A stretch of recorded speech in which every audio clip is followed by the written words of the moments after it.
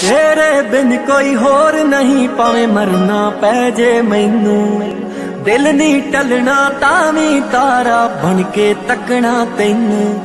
ਹਾਂ, ਲਵਲੀ ਪੁੱਲਰ ਤੈਨੂੰ ਦਿਲ ਤੋਂ ਚਾਹੁੰਦਾ ਸੀ ਕੁੜੀਏ। ਤੂੰ ਮੇਰੇ ਦਿਲ ਦੀ ਸੈਡ ਕਹਾਣੀ ਬਣ ਕੇ ਰਹਿ ਗਈ। ਰੋ ਰੋ ਕੇ ਫਿਰ ਕਹਿਣਾ, ਤੂੰ ਮੁੜ ਆ ਜਾ